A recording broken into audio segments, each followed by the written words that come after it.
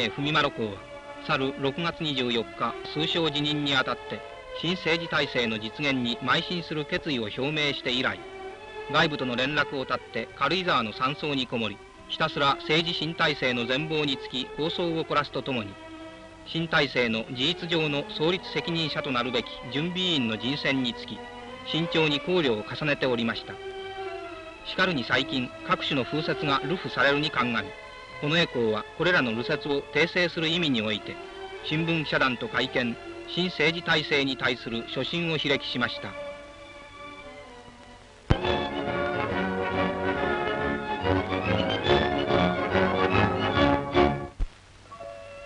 我が後期2600年をお祝いすると同時に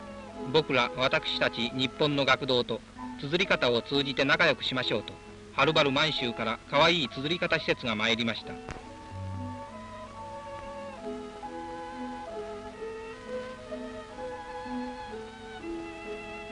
7月9日一行は京都に入り市内見物をしてから憧れの日本の小学生と楽しい交換のひとときを送りました。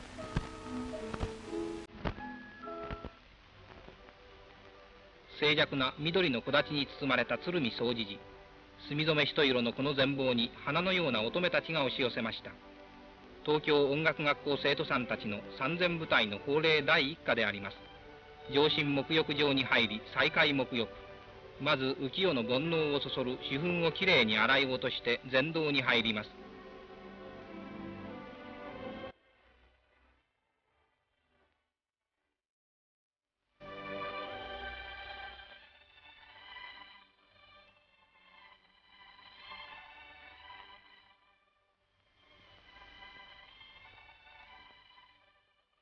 いよいよ座禅台に上がり薄暗い禅道に結果札して無念無双足のしびれも物かわ。多感な乙女たちが禅の境地に入らんとする。その心根は公は女性の頼もしき姿であります。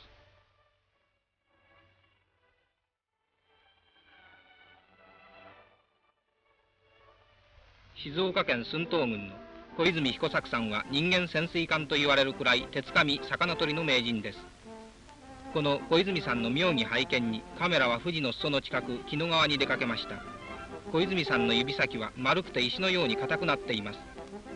この指の動くところ魚はたちまちすくんでしまうんですと小泉さんは残部とばかり身を急流の中に踊らせました。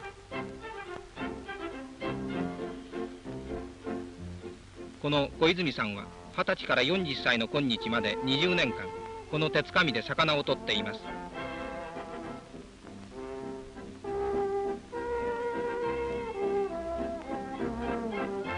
ぐくりと浮かび上がった小泉さんの両手いや口の中まで大きいカワウオがピチピチと跳ねています。1時間もすれば200尾以上も取れますと天才魚取りは語りました。